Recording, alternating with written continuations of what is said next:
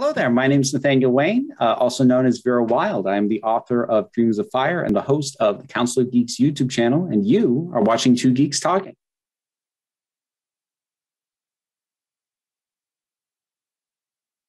Good morning, afternoon, evening, everyone. Two Geeks Talking is an entertainment industry interview show where we interview the creative people from the comic, film, TV, movie, and video game industries. And of course, I'm your host, Kurt Sasso. We're joined today by a very creator. She's, of course, the host of Council of Geeks and a fantasy author, first time fantasy author, I do recall, with her creation of Dreams of Fire. We are joined today by the ever talented Nathaniel Wayne. How are you doing today? I'm doing just fine technology issues aside briefly there, uh, you know, I, I happened upon your show at Council of Geeks, uh, and I love that you have a wonderful take on the geek culture. I love the fact that you really dive into the minutia of what makes us geeks and what, what makes us passionate about what we love. But I do have to ask before we talk about your book, what is your take on the newest change in Doctor Who, and and why do you think it's relevant today? Okay, well, I'll I'm going to give my short version because I did a 20 minute video on this uh, over over on the Council of Geeks YouTube channel. Short version is I was very surprised at Russell T Davies. Uh, and for context, in case anyone isn't a Doctor Who fan, this was the person who brought Doctor Who back in 2005, ran the show for four full seasons and then a bunch of specials and then left. And we've had two showrunners since then. And him coming back was very much a shock. And I am mixed on it because I am always nervous about any property that feels like it's trying to recapture its glory days, because that I feel like creatively can be where you get into the kinds of stuff that kind of bounced me off comic books years ago, where it's like no matter what happens, it's always just going to try and roll back, whether it's literally retconning or just trying to make it feel like it used to instead of moving things forward. And one of the things I like about Doctor Who is it's feels like it's custom built to always move forward and always try and do new things. On general principle, I'm kind of like, eh, I'm less nervous specifically because it's him, because I really do feel like he's grown and changed a lot as a creative person and as a writer in the years since he left Doctor Who, looking at his output on things like Years and Years and It's a Sin. I'm less nervous about it than I would be under any other circumstances just because it's him. But just that general sort of philosophy in terms of managing the IP does make me nervous. So, of course, being the geek that you are, and now being a first time fantasy author, why did you want to create? Well, first off, tell us what Dreams of Fire is about, and then I'll ask why did you want to create this story? Dreams of Fire is, I, I guess, best described as kind of an adventure fantasy novel. It's a high fantasy, so it takes place in a completely um, made up world. And it follows a young man named Farris, who is what is known um, within this world as an elemental. What that means is he has these magical and powerful and dangerous forces that build up inside of him and have to be unleashed. And in his case, he's a fire elemental. That's where the title comes from. And it basically follows him trying to avoid capturing, get himself into circumstances where he isn't going to have to be afraid of having his own ability to live free restricted and that he also won't be a danger to other people. So that's that's the short version as far as the world in general goes. There is steam. Sorry, I almost said steampunk. It's not. It's electropunk style technology. So there is. It is. Um, not quite the medieval template that a lot of high fantasy goes for. And there is very much a divide between the technological uh, world of the humans and the very chaotic magic of the Fey who live in the in the forests. So, what is the draw to high fantasy then? I know obviously Tolkien and all that other stuff when it comes to the epitome of true fantasy, but why did you want to go with this high fantasy route? Well, partly just because it's very freeing it gets you out of uh, out of a lot of the research obligations of setting thing in, in, anything vaguely resembling the real world because you mm-hmm. can shrug and go, "That's just how it works here." So. having to do the research on things like the style of technology that I did, like, okay, would this actually work? It doesn't matter, it works here. in some ways, it's kind of a cheat to go high fantasies. In other ways, it's not because you have to make up everything and account for everything that you talk about. But it gives you a lot more freedom in terms of how you're going to go about uh, tackling all that stuff. And I've always just enjoyed settings that feel, I'm, I'm going to use a term more usually used with sci fi, but that feel just a little bit alien. You know, I like something that okay, I recognize a lot of things in here, but there's other stuff going on. It's like, what? And for me, at least, high fantasy and more completely created settings lend itself to what I like about those things a bit more. You obviously have a, a wide range of characters here, and I, I, love the the Fey aspect and all that other stuff. But what did you draw from to create these characters? that is a question that I'm not even entirely sure how to answer because I've been working on this book for so damn long. I cannot reverse engineer and backtrack the thought process on a lot of this. At the time I started writing it, the the lead character Farris was not quite a self-insert, but was inspired by myself because I was in college when I started working on this thing. So I was myself still in my teens and at this point, I'm going to be 40 next year. So, like I said, working on it for a long time. A lot of the characters uh, initially sort of came out of narrative necessity, sort of figuring out the settings that I wanted and where I wanted the story to go. Like, okay, what characters am I going to need to tell this story? And sort of using that as a starting point. Uh, there were really only, I think, two other characters, primary characters that were born out of something other than necessity, who I you were just uh, a contrasting pair of uh, of personalities that I, I, really liked the idea of having them both in there.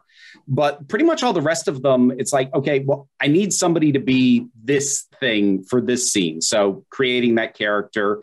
And that's the kind of thing where revision's really important because the first time you do a pass on that, they're a bit of a blank slate feeling just fulfilling a narrative purpose, but then going back and and filling that in a bit more, and actually probably doing it a little bit more than I needed to. I think there's probably more named characters than is necessary, but I, I liked I liked giving names to characters who only had one or two appearances because it makes the world feel like it's populated with people and not functions. Well, it's good to have that. I mean, it shows that you fleshed out a world that you've you've built from the literally the ground up. I mean, you are the god of the world, so to speak, and you know you are its creator. So do whatever you like. that's that's what's what's wonderful about that. Looking at all of the characters that you've created, though, did you have any any moral quandaries or ethics you had to to kind of struggle through to create what you've created? Not especially because it's it's not it, it's not a story dealing with a ton of grand scale themes. I'm, I mean, like there are themes in it there, and there are certainly you know elements of of my life and my perspective on the world that influence the story and the way it goes. But I wasn't trying to make a grand point.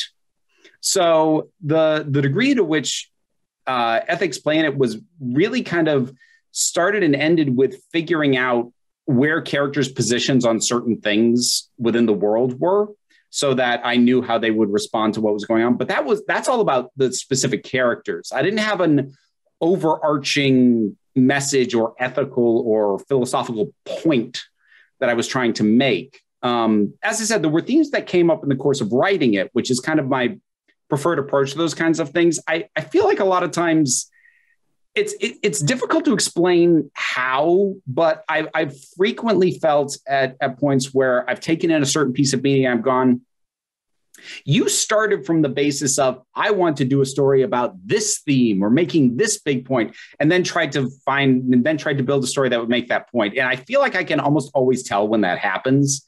And I'm much more partial to something where like I just wanted to tell a cool story, and here were the themes that got woven into it as it was created what were some of the themes that that really stuck out to you once you finally finished the book?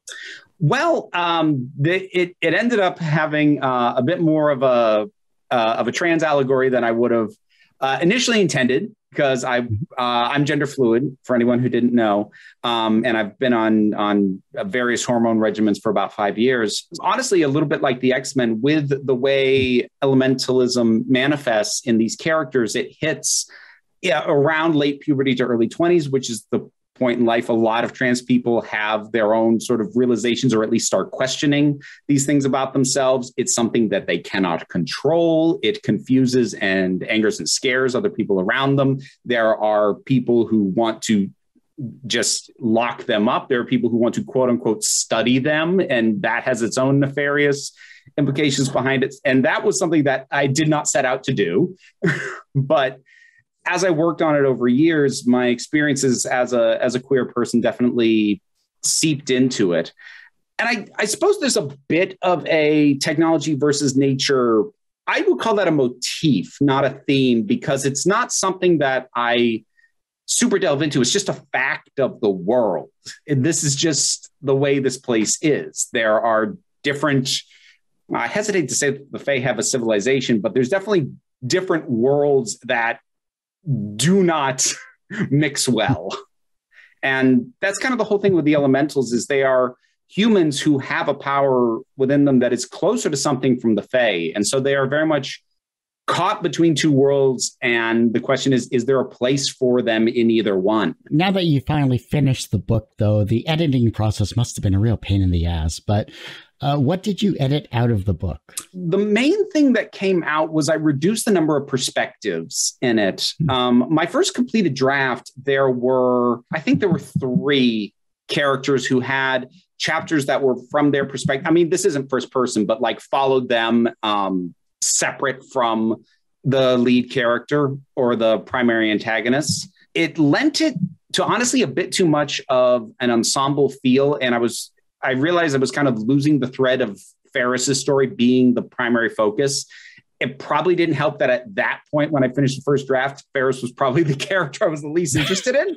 So oh, I, I needed to work on that, trimming down the number of perspectives, which did result in me losing some material that I really loved. But I'm like, I can't like th- this needs to focus up and i can't really for the sake of the story justify this being here so ultimately, as it stands, there are basically three perspective characters. There's Farris, and there are two antagonistic characters um, who I had to follow because since paths don't cross between them and Farris for a while, I had to establish them somehow prior to when they actually actively enter his story. So that's the reason that there is any perspective other than his, but I stripped out everybody else.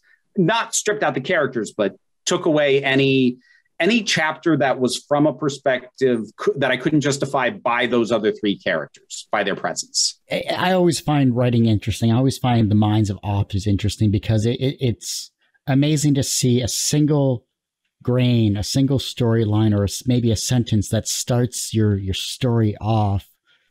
And in this case, uh, it's an amazing read. What was the funnest scene for you to write, and which was the hardest scene for you to write? Action scenes are hard for me.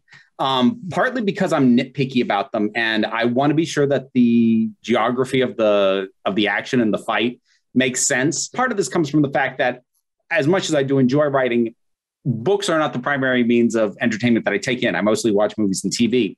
So in my mind, like I have to account for this. And my first pass at action scenes is overwritten and over specific and i'm detailing way more than i have to in terms of like whose hand is where at what point and where in the room they are and where the, like i overdo it. Finding that balance for action scenes and for fights uh, takes takes a bit of work for me, anytime I write dialogue, you know, an active conversation back and forth, that is my favorite thing to write. And it's usually the first thing that I write. Part of what stalled me for so long on starting to actually write this is because sort of the way my brain works, I, I zero in on dialogue scenes. Hmm. So the way the story existed in my head before I actually wrote the first draft was okay, and then this conversation between these two characters, and I actually written that conversation.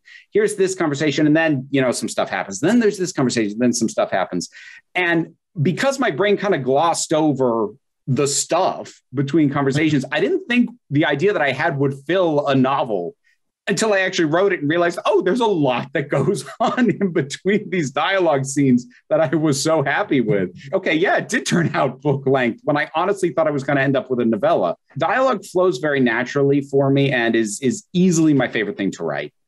Speaking of, of dialogue and, and the language itself of not only of your book, but of the world that we live in. What was the first time that you learned that language had power?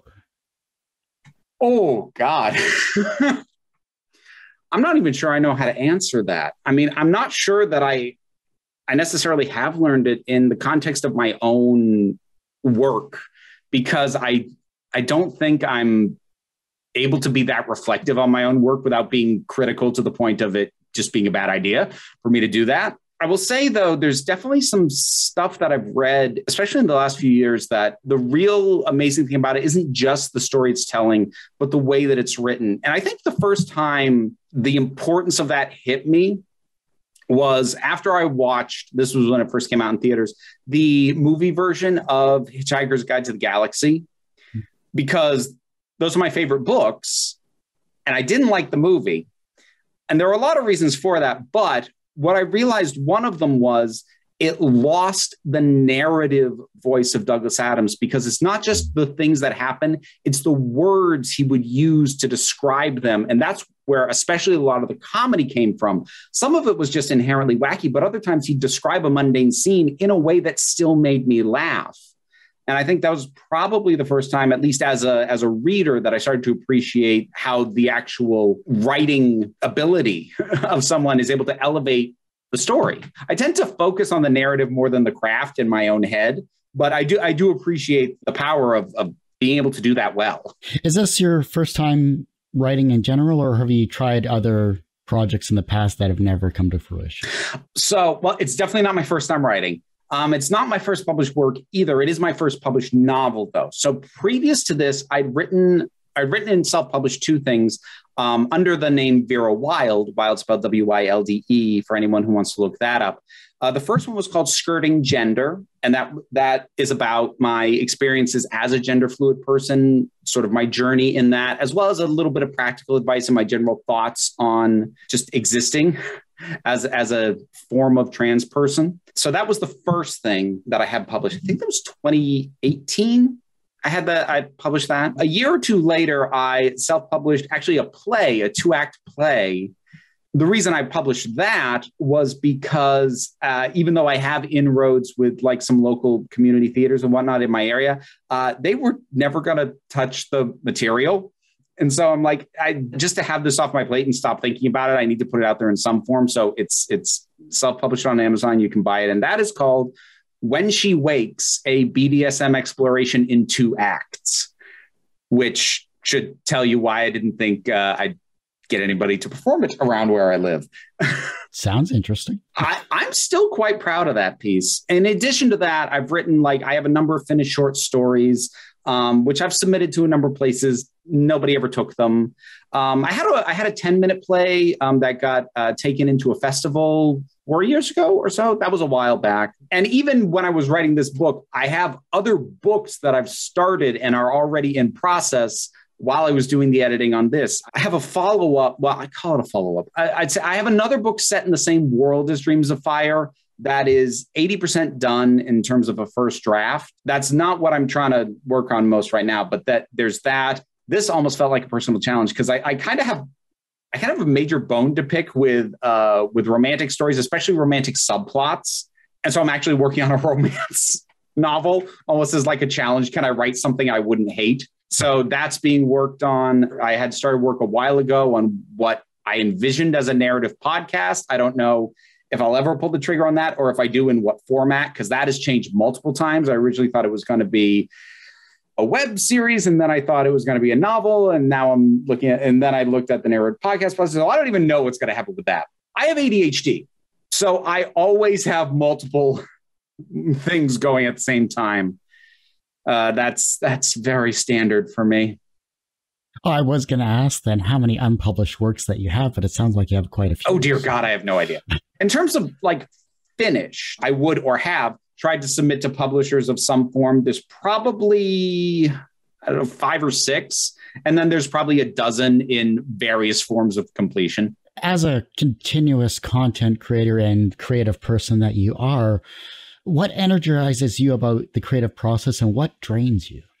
What drains me is getting out of the habit which uh, is actually something I'm dealing with right now. When I can keep up with working on it, if not every day, at least three or four times a week, on a regular basis, builds the habit and keeps kind of the creative muscles fresh. And getting back into that habit after falling out of it is tricky. Trying to keep up a schedule of YouTube videos at the same time is one of the reasons why I can fall out of the habit. As far as what inspires me, I honestly, I think it's just my own pigheadedness it's not like if I don't work on something for a while that the ideas leave my head. They're still there, eating up space. So, like, it's kind of just my own need to like get this out so I can stop thinking about it. Probably more than anything is what drives a lot of what I do. And that's actually how the YouTube channel started because it started out as a series of scripted shorts that I didn't think would go anywhere and they kind of didn't in and of themselves. But I'd been thinking about them for a while. I'm like, I just need to do this so that it's off my brain and I can focus on something else. That's kind of the entire basis of my career in quotes. but it's not a bad thing to do. I mean, it's it's a popular channel. You have a lot of people going to it. it you know, you're you're showcasing a wonderful side of the geek culture as well too with with well thought out opinions and well thought out pieces of video content. So you know, you're obviously doing something really well. Oh, so, you know, keep it, keep at it. Don't get me wrong. I love what I do. I absolutely love what I do. I'm not even really worried about burnout, which I know a lot of YouTubers get because I've I've been very careful not to be an algorithm chaser and to only talk about stuff that I want to to some degree. It's pretty uncommon for me to talk about something out of a sense of obligation. I'm not going to say it never happens, but it does not happen often. I absolutely love what I do, but juggling that and everything else is sort of it's my brain in a nutshell. I have 20 things going on in here, but one of them has to be done by tomorrow at noon. So that's the one that gets worked on right now. And for someone whose brain can't focus on one thing at a time, I suck at multitasking. So it's a juggle. I was going to say struggle, but that's that's probably an overstating it.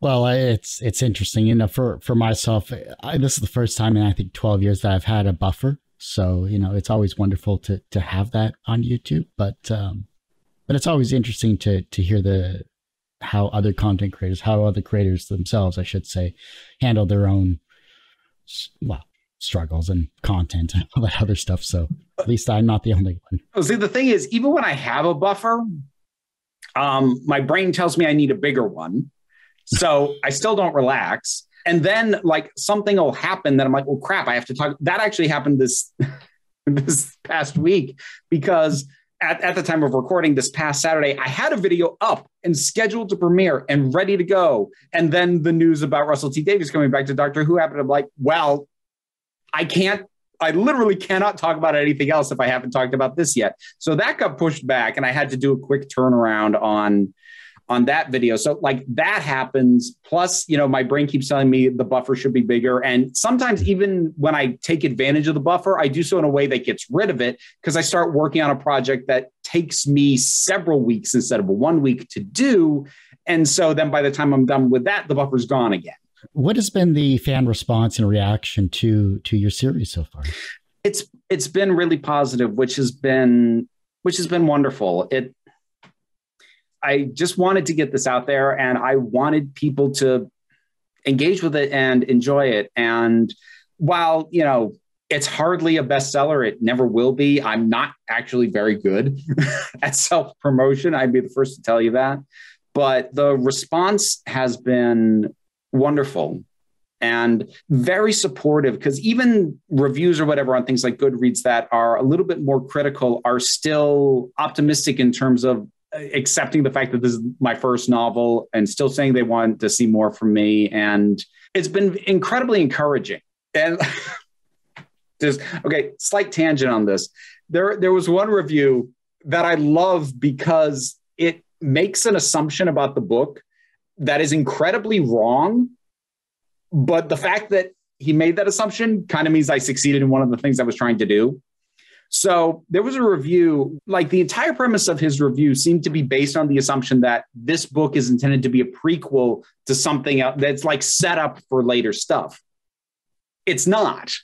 Um, like I said, I, I have another book set in the same world, but it has literally one crossover character, and that's a cameo. I'm not going to say i will never pick up with Farris again, but I don't plan to. I have no grand ideas that this was a setup for. But the fact that he made that assumption kind of means I succeeded in one of my core philosophies in approaching this. And I said I didn't have philosophies. I meant that in terms of message. Creative philosophies, which is I love small stories in a big world. I love something that feels like the whole world is this fully formed, crafted thing. but then doesn't feel the need to tell a story scaled up big enough to justify the size of the world. Like I love Lord of the Rings, I love my epic stuff, but there's something that really hits me about something with this massive world where the story is just this little thing. It's just this little thing about people. So the fact that he assumed that this was a prequel meant that I got the scale right in terms of what I what I wanted it to feel like. At what point are we good enough? Wherever you are now has to be good enough. Because you you will never move forward otherwise. For all your goals to get better at whatever it is, whether it is your work, things about yourself physically or your mental outlook at the world, even if your goal is to improve any or all of those things, right now you still have to be good enough for today. At this step in wherever you're headed has to be where you're supposed to be right now. Because if the entire way that you approach things is, I'm not good enough yet, you never will be. The way I kind of think about things for myself with that kind of question is, I am good enough for today. And tomorrow I can be better, but today this is as good as I can be. And tomorrow's another day, and we'll see if we can take it further on that day. And then tomorrow, whatever it is, even if it's a backslide, it'll still be good enough because that's today, and we work on it again tomorrow. What did your life change for the better? Whew. Repeatedly. I mean, the most recent thing was honestly getting fired from my day job. Hmm. I'm not going to say that was the best thing that ever happened to me, but it was definitely probably the best thing to happen to me in like the last four years because losing that job and putting it out there and getting a bump in the Patreon support and making a leap and getting caught by the people who liked what I do is what makes this my job now, which, like I said, I love what I do. And I was at, I was at an office job for nine years, nine and a half, that I hated. I never liked it, but by the time I, by the time they got rid of me, I absolutely loathed that job. I hated going to work every day that I had to go in, and that's five days a week out of my life, and I absolutely hated it. And losing that job made every, literally just about everything better because I'll plug the Patreon in advance, Council of Geeks on Patreon. I could always use more support. It would help. Things are tight, but you know what? I will take the financial stress of getting the bills paid on time over the daily stress of going into a job that I hate every time. so that was definitely the best thing to happen to me uh, in a while. But there's also, you know, other stuff that being accepted at coming out to at the various points that I had to come out to people. So being accepted on the YouTube channel by my family, by my friends, my kid being born. You know, I th- there's been a lot, but the the job thing was the most recent. What is one mistake that you'll never do again? I've had too many points in my life where I know I said I'll definitely never do that again, and then did. I'm old enough to go. Well, I hope I never do that again, and I hope I'm never in a place where it, I get to the point where I would do that again, but I, I don't make promises to myself or to anybody that I will definitely never make a, a mistake that I've made again, that, that it'll definitely never happen again. Cause I've fucked that up too many times to assume truth in that. I think it's actually healthier for me because I feel like saying it as a certainty, well, that'll definitely never happen again, makes it an all or nothing thing. It makes it a matter of well, if you even start to go that way, well, oh crap, well, it's happened. I'll just lean into it. I feel like having flexibility and understanding your own limits makes it easier to pull back from a mistake instead of doubling down into it. What's the wisest thing that you have heard someone say to you that has stuck with you in your life?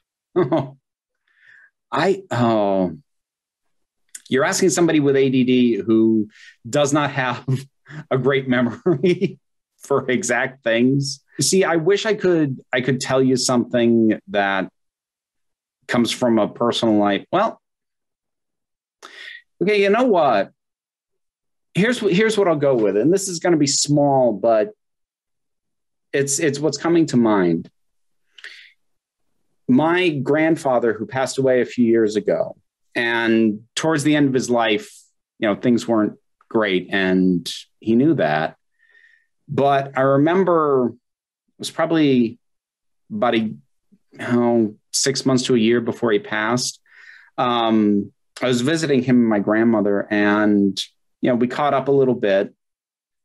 And you know, I did that. I think both of us knowing that he wasn't going to remember anything that I told him. But then when I went to leave, he just sort of sat back and he said, "Hey, keep smiling," which was something he frequently said uh, as a as a farewell. But I something about that. I stepped out of the house. I closed the door behind me, and I I did smile, and it wasn't forced. It felt very genuine to just to know everything that was going on and everything that had gone on with him. That that was just his outlook. Like, hey, just keep smiling, because you know what? In a bizarre way, it helps. And maybe that means you need to find something to smile about but however you come to that, it's it's a small thing, but it's it's one of the it's it's one of the last strong memories I have about him, but it's also one of the lasting ones. Everyone has one person that inspired them on their path to where they are today. Who was that for you? It's been a lot of people. I mean, more than anything, it's probably been my mother she has always been there. She has not always been happy with directions my life has taken, but she has always been there and always been caring. And if I were to pick out one person, I think it, it, it would have to be her. From a professional standpoint, you have a successful YouTube channel. You are uh, an author. You have written many other works as well too, and you are professionally successful in that route. Do you consider yourself personally successful? Yeah. Yeah, I really do. I the the friends that I have, the positive relationships I have in my life mean the world to me. I have an amazing kid. I have a wonderful partner and things in general have you know, there are down days, there always are, but things in general have felt really good for a while now. And yeah, I I don't feel like I have had to give up day to day happiness in order to have the professional success that I have. The reverse of success is failure. How do you deal with your failures? Move the hell on. like it's frustrating. It always will be. And like, uh, especially something you've sunk a lot of time into because like I, I I'm I, this will be far from the first time I pointed this out, but most of the videos on my channel that I've put the most time and the most work in and thought about the longest and were the most complicated to edit um, get the least views pretty much every time. And stuff that I throw together the day before because something topical happened and I have to get a hot takeout do way better. And while that is frustrating for me, I move on from it because I still enjoy making those more complicated things that are longer edits because I wanted to do that. So, did it succeed uh, in a way reflective of the work put into it? No. So what? Next thing. The younger generation is looking at your work, and you do have the younger generation with you as well, and they're becoming inspired to be creative in their own way, whether it's as a content creator, whether it's as an author, or whether it's as a creative person with however they'd like to be creative. How can they inspire the generation that follows them? Find what kicks your own creative energies and just roll with it. I don't think there's much use in trying to be inspiring. Like most of the people that I've drawn inspiration from, they weren't trying to be that for me, but they were just by being and existing and being who they were in the way that they chose to live. And at least in my experience, what gets people inspired and energized is people being passionate about what they do, what they make, what they say. And so, if you can bring that energy, somebody who connects with either the platform you're using, the medium, or the things you're saying will find it and get inspired by it just by the love that you put into it, which, like I say, is why I don't chase algorithms.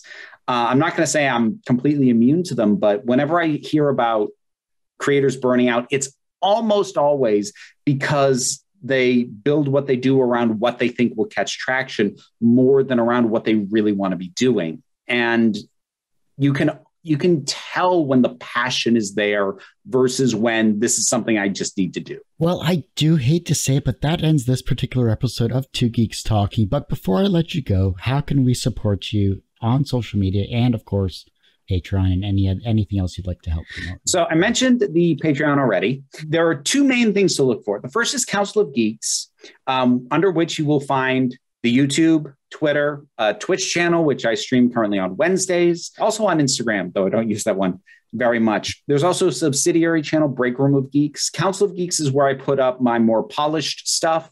Um, whereas Break Room of Geeks is less scripted, less edited, and is usually just rambling reviews about whatever I've seen lately. You can also look up, as I mentioned previously, Vera Wylde, Wylde again spelled W Y L D E. And under that, focus much more on my experiences as a gender fluid person uh, exclusively, because I do talk about that a little bit on Council of Geeks, but usually in terms of how it informs my opinion on media. Um, for a more flat out conversation about that, you can find Vera Wylde on YouTube and Twitter uh, and Instagram and TikTok as well. Um, there's a few other things. There's a Council of Geeks um, podcast, which is currently host to What the Frell, where uh, Jesse Gender and I are watching every episode of Farscape. Me as a longtime fan, her as a first time viewer. Where uh, we've started uh, season four of that recently.